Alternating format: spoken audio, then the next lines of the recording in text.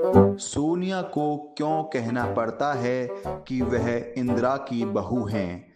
क्यों नहीं कहती कि राहुल की भी माँ हैं? बैठा पप्पू मुझे कुछ नाराज़ सा दिख रहा है।